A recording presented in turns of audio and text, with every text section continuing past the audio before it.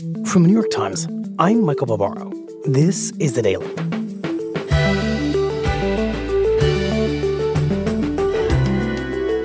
For years, a mysterious company has been buying farmland on the outskirts of Silicon Valley, eventually putting together a plot twice the size of San Francisco. But at every step, those behind the company kept their plans for the land shrouded in secrecy. Until my colleague, Conor Dougherty, figured out who they were and what they were up to.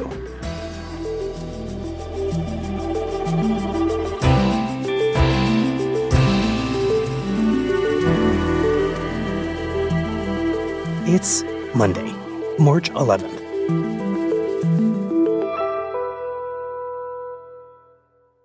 So, Conor, this story begins as a real estate mystery that you took it upon yourself to try to crack wide open. So, tell us about where this mystery unfolds. Okay, so if you imagine you're in San Francisco and you drive north, further up into the Bay Area, into an area called Solano County. And then you go way east and you end up in this very rural corner of the Bay Area that not a lot of people know about. And it's over here in this rural corner of Solano County where our story takes place. And it's these open, sort of rolling landscape of yellow hills with almost nothing on it. The largest structures there are wind turbines. And a lot of the families out there are farmers. They farm sheep, feed crops, and cows. And many of the people out there have been there since like the 1860s. This is a place where families stay in the same place for generations and pass the farms down several times. This is a place where not a lot changes. But then, in 2017, something very unusual starts to happen. A company called Flannery Associates, which nobody in the area has ever heard of, starts buying land. And they buy more the next year, the year after that, the year after that, more and more and more and more, until pretty quickly they're the biggest landowner in the entire county. Hmm. So all these neighbors are at supermarkets, they're at church, they're at schools. I mean, this is a place where everyone knows everyone. They're all on community boards together. They all talk to each other all the time. They all sort of simultaneously get these offers hmm. for their land. Right. And like you said, they don't even know who the offer is coming from.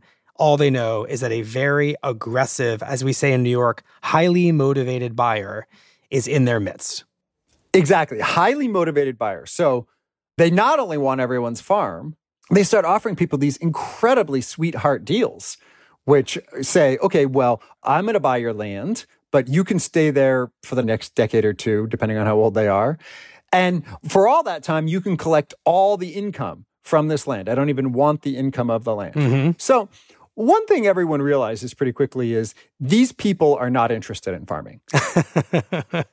Because if they wanted to farm, they would kick the farmers off the land they had just bought. Or they would want to make money from farming. Right. Like they don't care about the price that reflects the income, and they don't even care about collecting the income. Mhm. So they very obviously have a plan that has nothing to do with farming. And so the question is, what's the plan? And who are these people? Right. So then the county starts to get curious who this is. But because this Flannery Associates is incorporated in Delaware, which has some specific rules that kind of cloak who is behind a company, nobody can figure out who they are. And they send a bunch of letters to the company, Flannery Associates lawyer. And this lawyer kind of just puts them off and says, Oh, don't worry about it. This is a group of wealthy families who are looking to diversify their assets and they just want to park it in farmland, basically. Hmm. Local mayors, concerned citizens are going down to the libraries and pulling property records and you know looking up corporate LLCs and stuff to sort of try to figure out who is behind this. Mm-hmm. The county becomes very concerned about what is happening here. There's this massive information vacuum, and people start to fill it. We're talking about Solano County, where the single largest landowner is now an LLC based in Delaware. The group Flannery Associates has acquired tens of thousands of acres of dry farmland, equivalent to nearly double the size of San Francisco, and no one knows why. So whatever they are, I know what they aren't. They aren't buying carbon credits. You know, they have intentions that are outside of our usual land use ideas. That's what makes it scary, I guess, is that we don't we know nothing about them. Nothing now, there's an important detail here that I've sort of left out, which is a mysterious purchase of dry farmland near Travis Air Force Base, one of the most critical military bases in the western U.S., has raised serious questions. All of this land is near and surrounds Travis Air Force Base, which is a very important strategic Air Force base, sometimes called the gateway to the Pacific.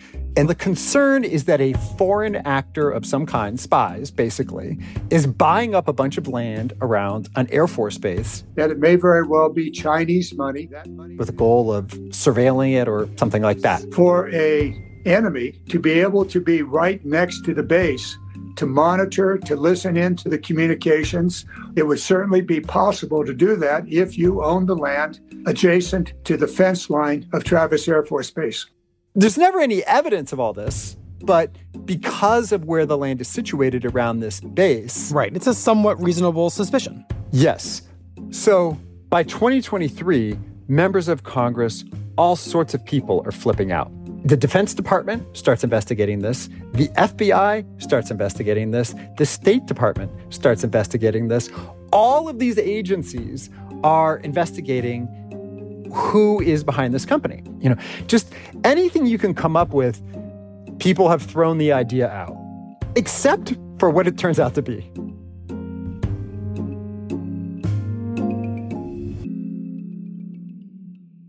So I cover housing here, and this was a little off my beat, but I was very interested. So I started looking into it a little bit and made a couple calls, but I didn't turn up much. Then one day, pretty much out of the blue, I get a message. And I can't exactly say where or how or from whom, hmm. but someone tells me, I know what this is. Tantalizing. This isn't some group of rich families trying to park their cash in farmland, like the Flannery Associates lawyer implied.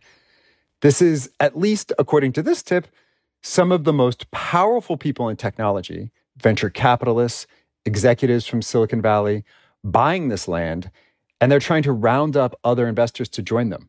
Huh. So now you have a theory about who is buying this land. It's a bunch of really rich venture capital types from Silicon Valley, but at this point, you don't really know if that's actually true.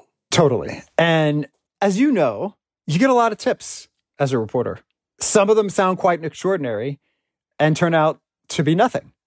But for various reasons that I can't get into, I sort of knew this had to be worth checking out. Mm-hmm.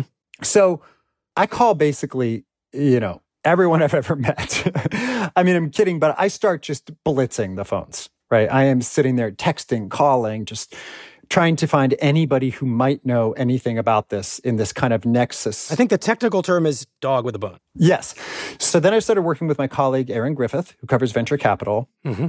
And eventually, through a ton of reporting, we were able to confirm that, yes, in fact, the money behind Flannery Associates was a who's who of Silicon Valley. Laurene Powell Jobs, the widow of Apple co founder Steve Jobs. Huh. Marc Andreessen, very famous venture capitalist from Andreessen Horowitz. Right. Michael Moritz, billionaire venture capitalist from a company called Sequoia Capital. Reid Hoffman, co founder of LinkedIn. Some of the richest people on earth are actually the ones buying all this farmland.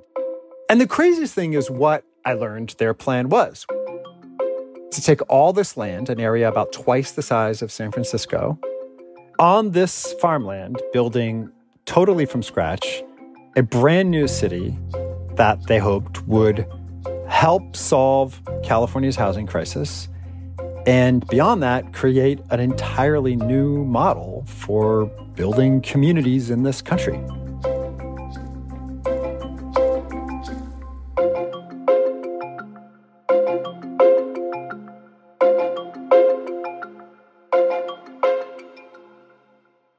We'll be right back. So, what do you end up learning, Conor, about the specific plan that all these rich folks have for this model city that they want to build on this farmland. So, this whole thing I learned is the plan of a guy named Jan Sramek. Mm-hmm. And who's that? Jan Sramek is an interesting guy. He's originally from the Czech Republic. And in his telling, he grew up in this tiny town of a thousand people. But he's this very precocious, entrepreneurial young guy.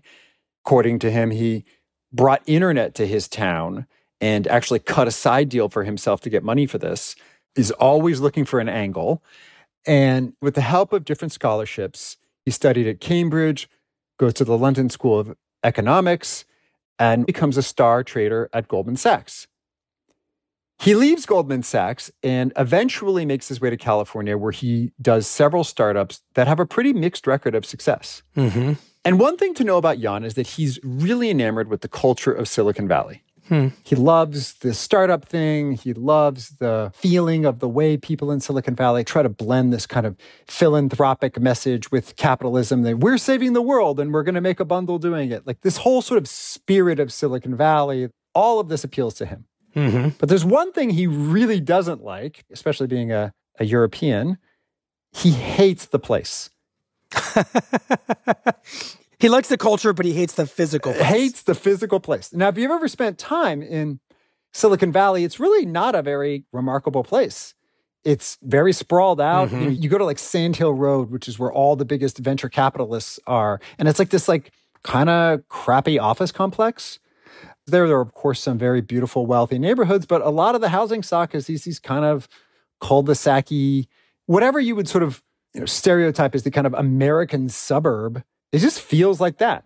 So not only is he sort of uninspired by this very low density landscape, there's a huge housing crisis in California at this time. And not only is there a huge housing crisis, there's just a ton of conflict over whether or not the state should build more, you know, how it should build. It's just a big fight over basically whether to even solve it.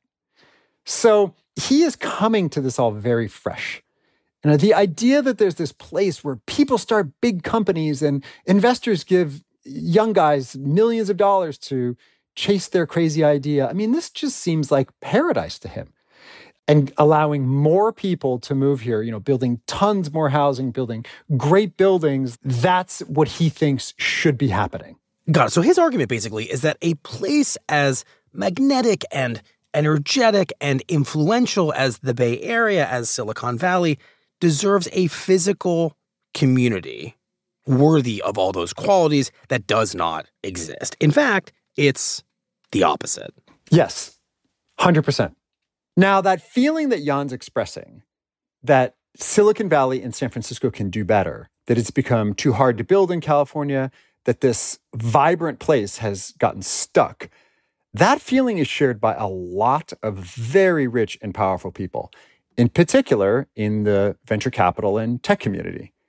There is this very deep frustration in that world that as much influence as they've had on the digital world, they've had very little influence on the physical world. I mean, these are people who grew up dreaming of flying cars and, you know, monorails through Sim City landscapes, that sort of thing. And yet they live in this strip mall office complex cul-de-sac suburb. And because of the politics of the state, it's almost impossible for them to change that. People talk constantly about this. And Jan, at this point, is extremely well connected. He is friends with billionaires. He's in a book club with some pretty high powered venture capitalists. So he puts together a plan for a new community in eastern Solano County, one that lives up to his vision and one that he brings to these people. And eventually, he's got almost a billion dollars to pursue this idea of building an entirely new city from scratch out in this rural area. So, Conor, what happens once you and the Times break the story and tell the world what's really going on? Because it's been so secretive and mysterious until that point.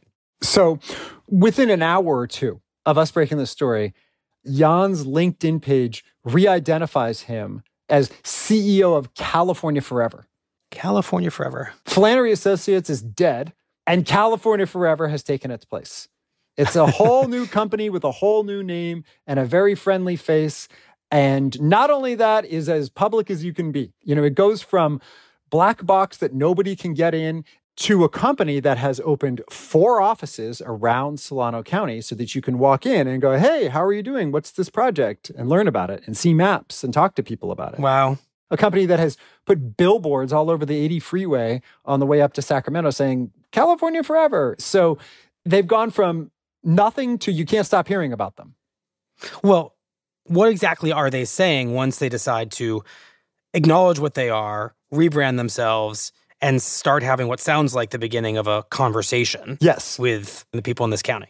So, because of county law, they cannot build this city unless they get a vote of the people. Ah, right. California is, among other things, land of the ballot initiative. Exactly. Solano County has a rule that says you can't build in the rural areas. And that's because they want to preserve these farms just as they've been for generations. So at the start of this year, California Forever filed a proposed ballot initiative that would undo that and pave the way for them to eventually build this city. And the hope is that this initiative would go before Solano County voters in November. Good evening. Good evening, everyone. Thank you for being here. How's, how's everyone doing tonight?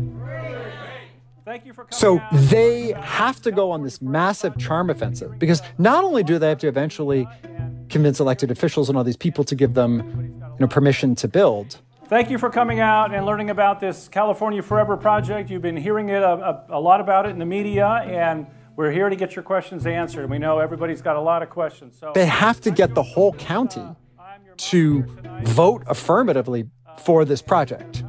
So, uh, Jan, take it away. So Jan goes from nobody has heard of Jan to he's everywhere in the county. He's meeting with elected officials, he's meeting with union leaders. Um, good evening, everyone. Thank you for coming. To introduce myself, um, you might be asking yourself, why is this guy with a funny accent here? And then he starts having a series of public town hall meetings in all these different cities across Solano County.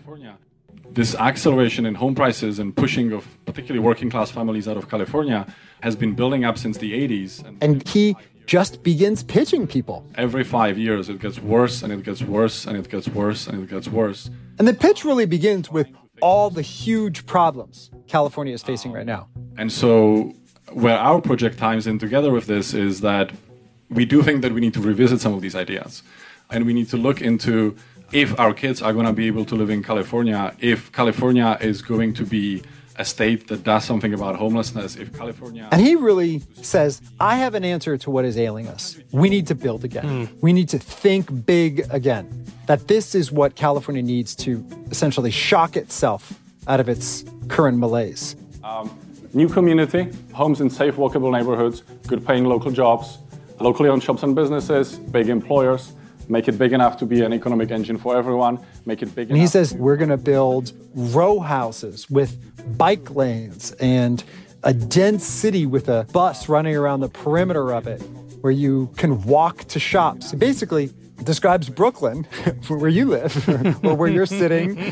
And we went out and uh, we found a group of investors who wanted to double down on California and who believed that if you could purchase enough property, that you could design a project that was designed in a way that it made everyone around better. And eventually, this city, they hope, will have 400,000 people living there.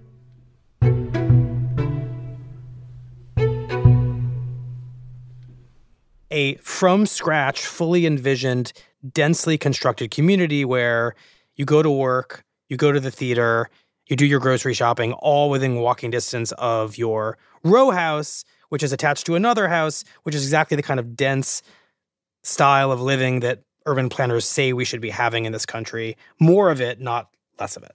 Exactly. Conor, all of this sounds eminently reasonable that I wonder why Jan approached it from the beginning with so much secrecy and mystery, because that doesn't feel in keeping with the spirit of what he is talking about here. Yes. Well, pretty simple answer there money. What Jan will tell you is that they were worried that people would jack up the prices of the land. If they were public. Yes, that if people out there realized that the richest people in the world had a plan to buy all this land, they would start raising the prices. Got it. But at the same time, it created a ton of suspicion in this community. And on top of that, it's possible some of these farmers might not have sold if they would have known what the plans were. You know, many of these people have a, a very deep connection to the idea of this as an agricultural place. Well, to that point, what happens once the public and all the farmers who have sold their land learn precisely what the plan is and what they have sold their land off to become? So people are incredibly unhappy about it.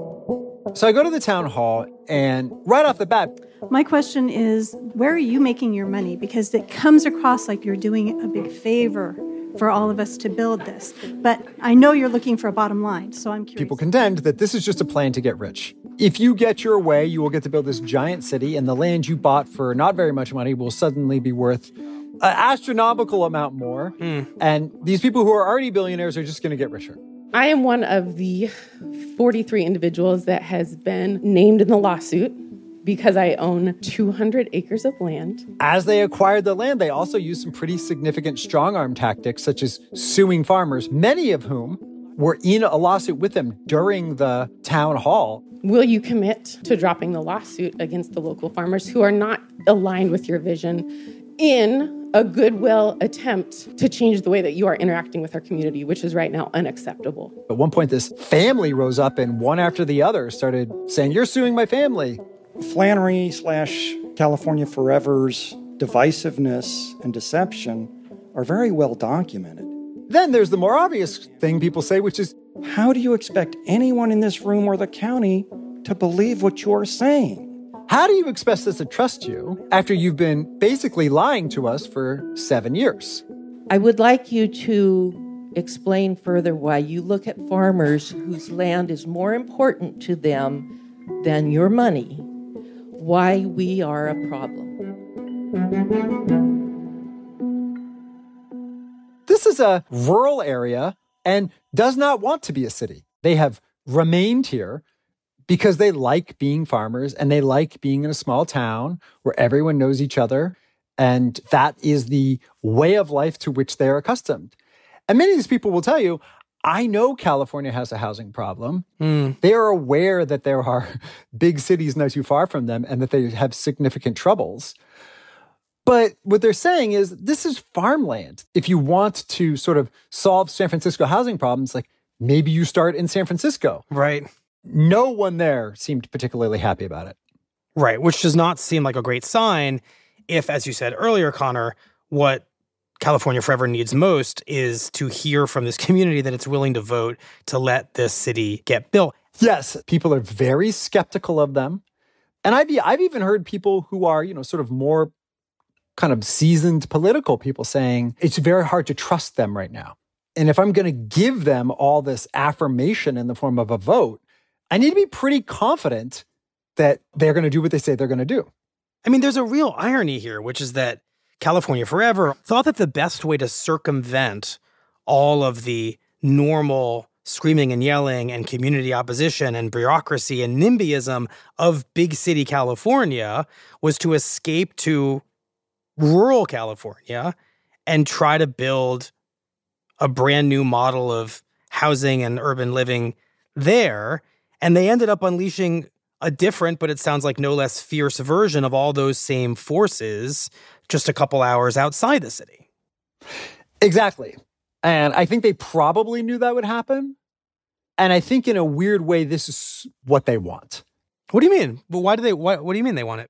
I think in their mind, it's almost easier to build a city than it is to build a duplex. I think they would rather have one big, gigantic, knockdown, drag out, expensive fight. Hmm. And then if they get approval, just build the city. You know, if you think about it, the problem in San Francisco is that they fight over every little duplex. They fight over every little apartment building. And I think they're sort of like, okay, let's do this once. Let's have it be as furious and expensive as it can be. And if we get over that hump, then we can build a city that they hope one day will have 400,000 people in it. Hmm. And I think they've calculated if we do this on this scale, it'll be too big to fail. This is fascinating. This project is almost ideological for Jan. He knows that there's a huge distrust of Silicon Valley and billionaires, and that many see his approach as hubris. He's totally aware of all of this. But this is a state that built the Golden Gate Bridge and went from a little frontier town to the largest state and the fifth largest economy in the entire world. And I think there's a feeling that it's forgotten how to do those big things. And I think what Jan would tell you, his argument, is somebody needs to revive this spirit. Somehow we need to get Californians excited about big things again. And if it's not this, then what is it? And if it's not them, then who?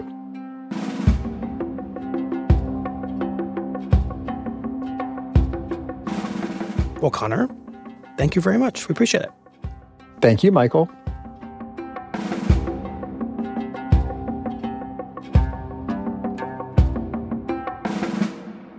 We'll be right back. Here's what else you need to know today. The Justice Department has begun a criminal investigation into the midair blowout of a panel on an Alaska Airlines flight that forced the plane to make an emergency landing in January. Federal investigators have suggested that Boeing may have delivered the plane to Alaska Airlines without installing the bolts necessary to hold the panel in place. And in an interview over the weekend with MSNBC, President Biden delivered some of his harshest words to date about Israel's deadly military strategy in Gaza and about the man leading it, Prime Minister Benjamin Netanyahu. He's hurting, in my view, he's hurting Israel more than helping Israel by making the rest of the world, it's contrary to what Israel stands for. And I think it's a big mistake. So I want to see a ceasefire. In the interview, Biden was asked if there was a point at which Netanyahu's actions would compel the U.S. to cut off military aid to Israel. But there's red lines that if he crosses in the, he cannot have 30,000 more Palestinians dead.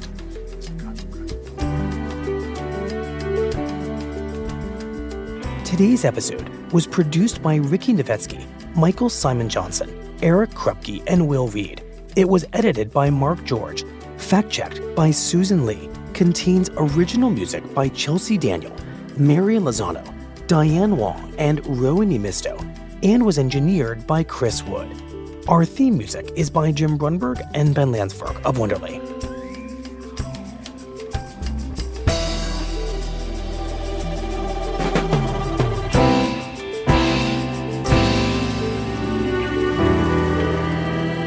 That's it for the daily. I'm Michael Barbaro. See you tomorrow.